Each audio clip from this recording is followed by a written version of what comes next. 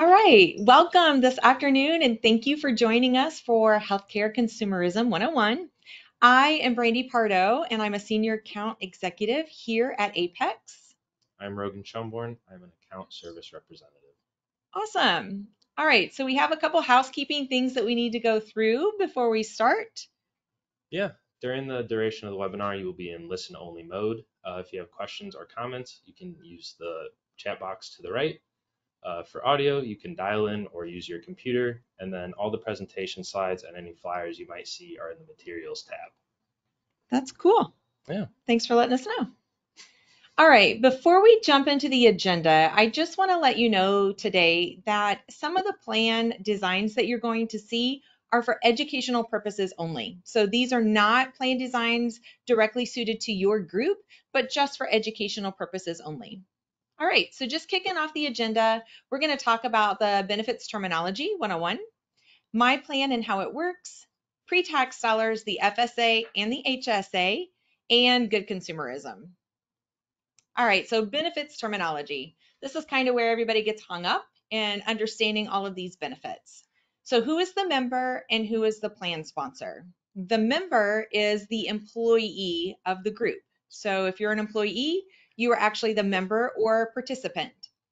The plan sponsor is the company to which is providing the health insurance plan for its members. Premiums. Premiums are amounts paid for the insurance policy. Co-payments are cost sharing. So it's usually a set amount of funds to specified services or medications. Deductible is that first dollars out of pocket, which is the member's responsibility or the participant's responsibility. Coinsurance. After the deductible is met, the coinsurance is that cost share between the member and the plan sponsor, and it's usually in a percentage amount. Out of pocket maximums, these are limits on how much the member is completely responsible for in one given plan year.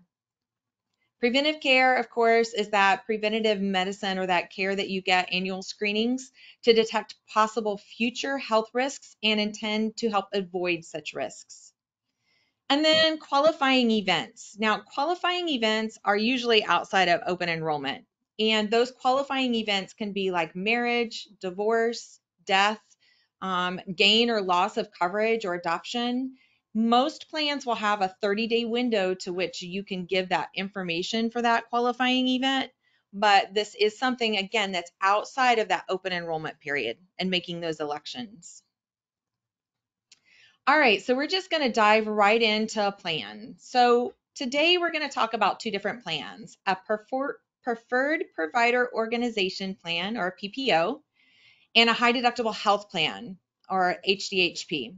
So a PPO is usually paired with a flex spending account or an FSA, and the high deductible health plans are paired with the HSA or the health savings accounts. So let's just dive into these different parts of the plan. First is the deductible. So in this particular example, the deductible for the PPO is 1500 and the deductible for the high deductible health plan is 3500 the out of pocket maximum, which if you go back to the terminology we said is how much a member is responsible for in one given plan year. So for the PPO, it's going to be 3000 and on this plan for the high deductible health plan, it's 7000. Now what you see in between there is the coinsurance. So for the PPO, once you've reached that um, deductible of 1500, you've got a 20% coinsurance up to that max out of pocket. So the 20% is what the member is responsible for. The 80% would be what the plan plan sponsor is responsible for. The same with the high deductible health plan. The deductible is 3500 That coinsurance is 20% to the out-of-pocket max of 7000 and then down here, you'll see the copay. So for a PPO plan, copays, and it reads as a copay on the plan, on that plan document. On the high deductible health plan, there's that caveat. So you have to have reached your deductible, that 3500 before the copays or the coinsurance kicks in. Now we made a cool little chart here that kind of shows you from ground up explaining how those dollars work. So for the PPO plan, those dollars would work. You'd have to pay that deductible, which is the 1500 Once you reach the 1500, the co-insurance and the copays kick in to that 3000 out of pocket maximum. After the out of pocket maximum, it's covered at 100%. Now, what you have to know in the PPO is that your copays for medications and your copays for doctor's visits are not included in that $1,500 deductible. But for the high deductible health plan, it's always first dollars out of pocket. So you're not going to see those copays or um, the copays on medications until after you've reached that $3,500 deductible. Once you've reached that, then the co-insurance and copays kick in to that 7,000 out of pocket max to where it's everything is covered at 100%. Are you with me so far? I am. I know it's a lot. All right, so we're going to dive just a little bit into how a major claim is paid on the PPO plan. So this is the PPO plan. You've got a $5,000 surgery. $1,500 of that goes to the deductible because remember the deductible is 1,500 and then the out of um, out of pocket max is 3,000. So then the balance from that $5,000 surgery minus the deductible of 1,500 or yes, minus the 1,500 that balance is 3,500. So your 20% coinsurance of that 3,500 is going to be 700. And then the plan sponsor is going to be responsible for 2,800 of that. Adding that 1,500 to the 700, you're going to get 1,900. Is that right? Nope, 2,200 of your $3,000 deductible. But on a high deductible health plan, it's a little different. All those first dollars are out of pocket. So you've got a $5,000 surgery, 3,500 is the deductible. Your balance is going to be 1,500. This is split the same way, the 20% coinsurance. So of that remaining balance of 1,500, you're going to be responsible for that 20% coinsurance, which is $300. And then the plan sponsor is going to be responsible for the 1,200. So adding that 3,500 plus the $300, that's $3,800 of your $7,000 out of pocket maximum. Now we know that these can be kind of confusing, um, but a lot of times you're really not going to see unless something major happens all these on the high deductible health plan. Yeah, and and Brandy, why would you want a plan where you're paying seven thousand dollars out of pocket compared to maybe three thousand? Well, that's a good question. So, how do you know what plan is right for you? I always kind of tell people the best thing to do is kind of do your due diligence before the open enrollment gets here you know, mark down all the healthcare that you've consumed over the past year and how much your medications cost. So for someone who yourself is young, maybe just coming off your parents' insurance, you really don't utilize healthcare. I mean, how many times do you go to the doctor? Once or twice per for preventative. preventative. Yeah. If we're lucky, right? Yeah. all right. So maybe preventative care and a doctor's visit for a cold, Yeah. right? Yeah. So because you're healthy, you don't see the doctor very often, you don't have any maintenance medications, and with the high deductible health plan, you can throw some money into that HSA account and kind of bank that. Maybe that high deductible health plan is going to be something that's right for you. But take someone who might be diagnosed with diabetes and they go have their A1C checked on a monthly basis and they have to see their doctor for you know, regular checkups or have that diabetic medication that they've got to get refilled a lot, they're really going to want those copays. They want those copays to kick in first. Um, the copays for the doctor's visits, the copays for those medications that they're paying for. So that PPO plan is probably looking a whole lot better for them because there are copays associated versus having all those dollars out of pocket firsthand. So our suggestion is just always, you know, throughout the year, take an account of how you spend or utilize your healthcare and those dollars in medications and doctor's visits, and then decide before your open enrollment period what kind of plan is going to look best for you. All right, on to our favorite topic. Yes, pre-tax dollars, saving yourself a bit of money. Uh, we're going to go over a PPO and a flex spending account uh, and a high deductible health plan and the health savings account. So we'll go over the FSA or the flex spending account first. These are to be paired with your PPO plan. Uh, these are going to help you save money because each payroll you will have a deduction. These are pre-tax dollars, and they can help you uh, pay for medical eligible expenses. Uh, these could be co-pays, co- co-insurance, deductibles, uh, over-the-counter medication, dental and vision costs.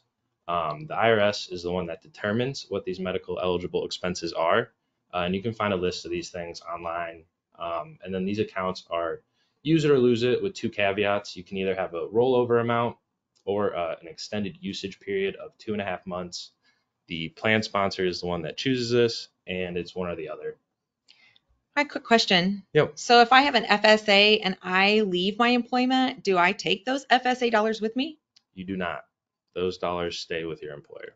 Okay, good to know. And that is a difference between the FSA and the HSA. Uh, the health savings account, now this goes with a high deductible health plan, an HDHP. Uh, again, these contributions are pre-tax, saving you a bit of money, and you can use these on eligible expenses, again, set by the IRS. Uh, health savings account works more like a bank account, um, and the contributions you set at the beginning of the plan year can change throughout, whereas the FSA, once you set that, you have to keep that until the next plan year. Um, the HSAs are triple tax advantage, so you're not taxed on your contribution, you're not taxed on interest you earn, and you're not taxed on the money you spend on the medical eligible expenses.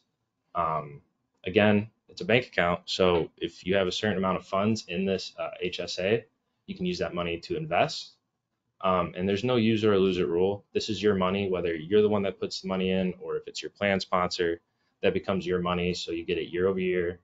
Um, and if you leave that company, it it stays with you. That's cool. So another quick question. Mhm. If I invest funds and um, those funds are gaining interest and all that good stuff, and then I have something big medical come up, can I pull those funds out of investments and put them back into my HSA account to use for those medical expenses? You can, and they're still not taxed. That's awesome. Awesome. Yeah, so we were talking about the contribution amounts. Uh, these are set year to year, again, by the IRS. Uh, for FSAs, the 2024 max contribution is 3,200. Uh, that rollover amount that we talked about is 640 this year. And then for HSA, if you're an individual contributor, it is 4,150. For family, you double it, so 8,300. And then there's a catch-up contribution. That's for people age 55 and older. You get an extra $1,000 just added to that amount, so 5,150 or 9,300. Very cool. What happens when I retire? Yes, when you retire, so the HSA, you can take those funds out when you're 65, and there's no penalty, but you do get taxed for whatever income uh, tax bracket you're at at that point. If you're to pull those funds out earlier than that, there's a penalty and the taxes included. Good to know. But I can find all these guidelines on the IRS website. Yes. And that's where you should go. All right, so being a good consumer. What are some examples of being a good consumer um, when choosing services that are costly both to the plan and to the member? Here are three examples. So freestanding imaging centers, which you can utilize for x-rays, scans, CT scans, and ultrasounds. Freestanding sites for lab draws, which you can use for any diagnostic blood testing. And freestanding surgery centers for surgeries that are non-emergent and can be scheduled. So like that rotator cuff surgery or that knee replacement surgery. Um, all three of these things can be utilized just by asking your physician for that order. So again, if it's a non-emergent situation and your doctor says, hey, I think you need to have rotator cuff surgery, you can ask your physician for that order and find that low cost um, center with the best care by using that order and hitting that freestanding surgery center. There's an example here on this slide with Northwest Radiology. This is just one of those examples for that freestanding imaging center where you can get online and look at their pricing. They're very upfront with their pricing and you can see the difference between that high cost, maybe hospital system pricing for the imaging is going to be different from that of that pricing rate that Northwest Radiology carries.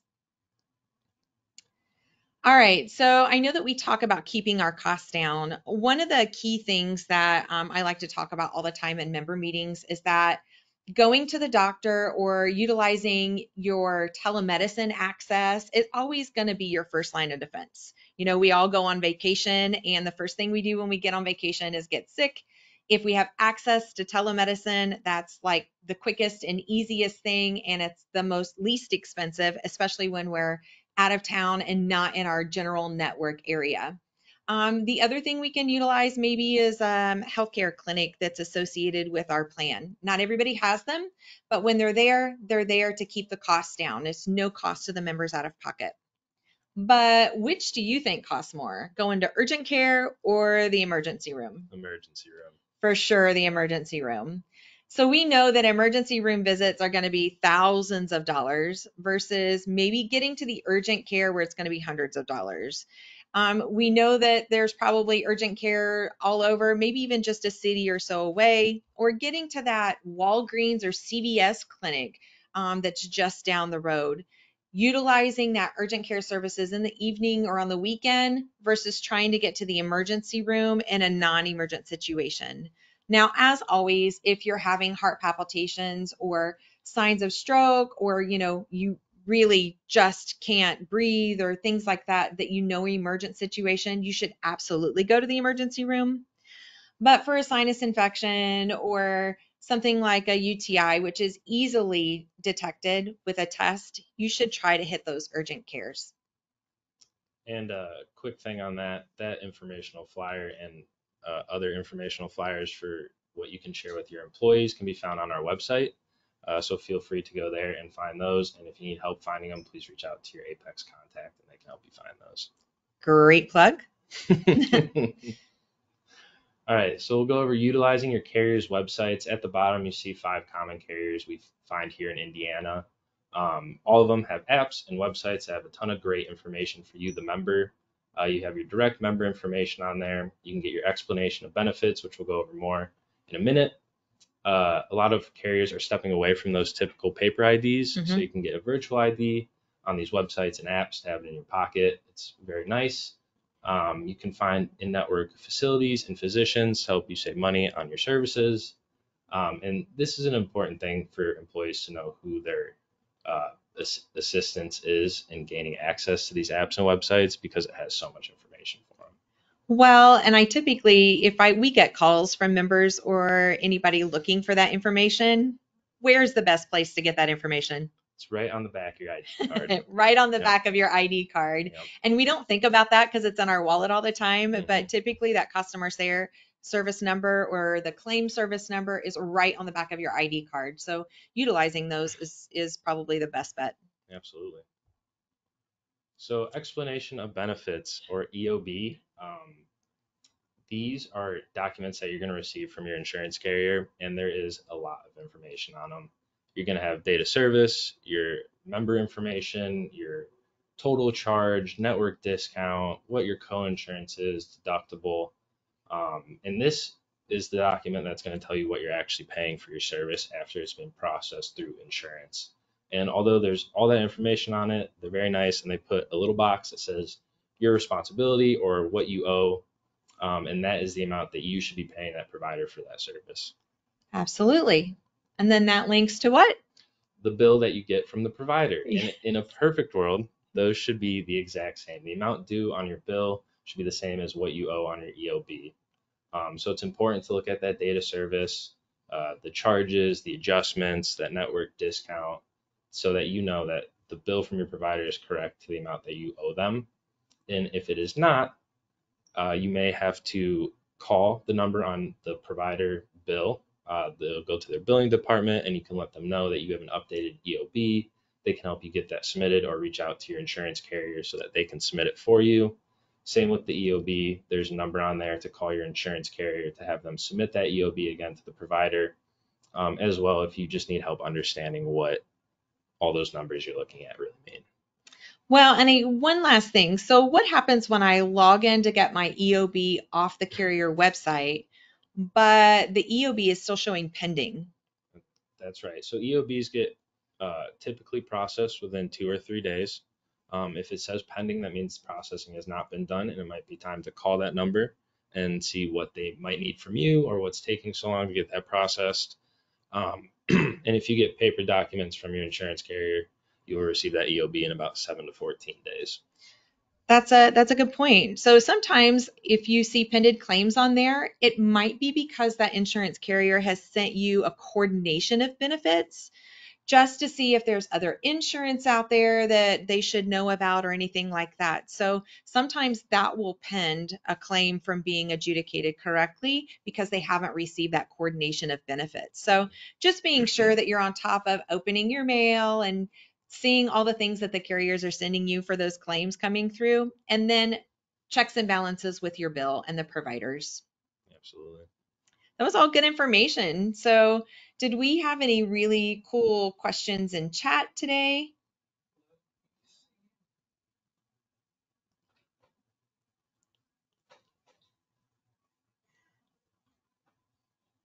So we go to the question. So the first question is on FSAs, and if you can just repeat them into the mic after I Okay. So since the employee can't take the funds with them when they leave, should I encourage employees to use the funds they've already contributed to the account? So the question is if the employees cannot take the funds with them on an FSA, should they encourage employees to utilize those funds prior to leaving employment? And the answer to that is yes. So if you've got funds on your FSA and you know you've got some bills due, are there some medications that you can utilize those funds are? You absolutely should utilize those funds if you know you're leaving the employment or retiring or going to be leaving that FSA account, just so those funds are utilized. Otherwise, they revert back to the employer um, and those funds do not go to the employee. Great question. Only one we have so far.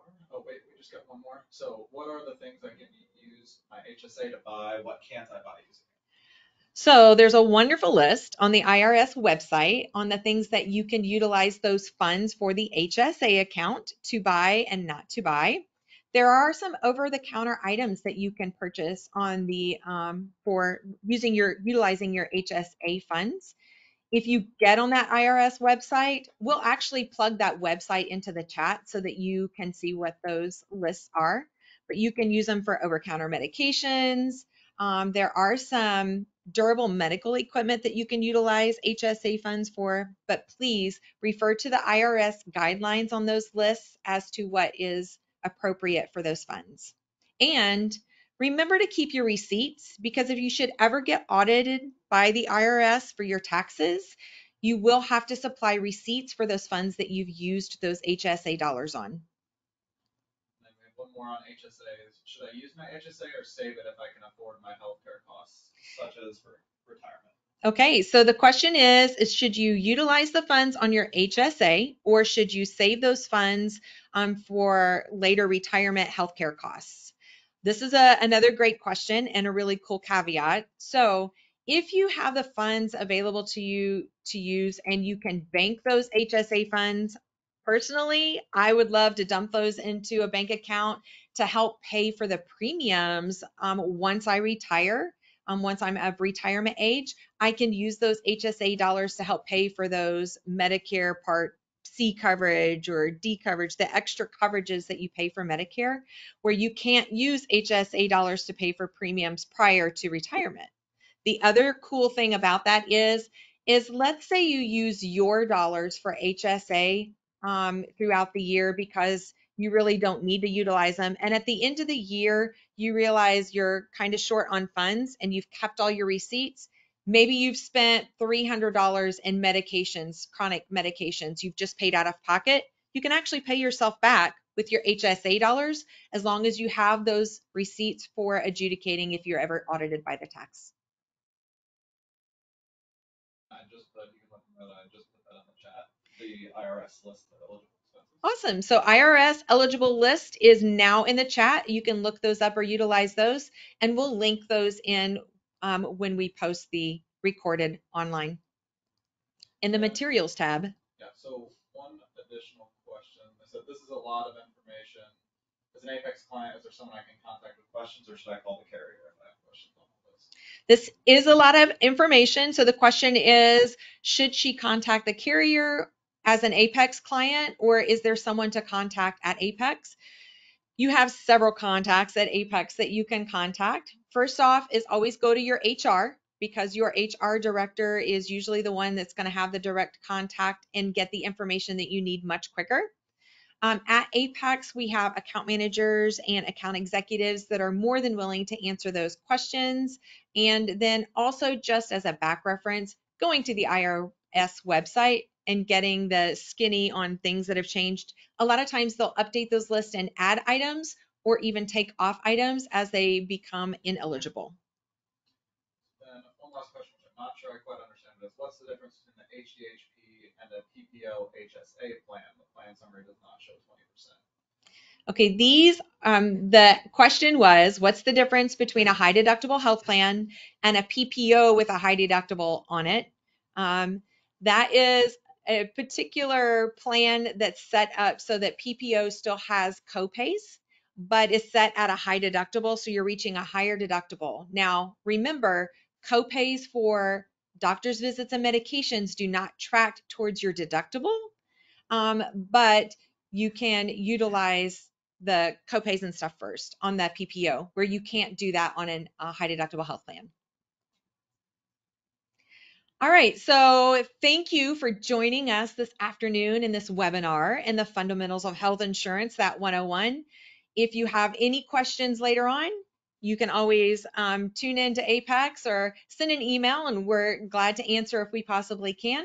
We appreciate your time and hope that you have a wonderful day. Yeah, thank you, everyone.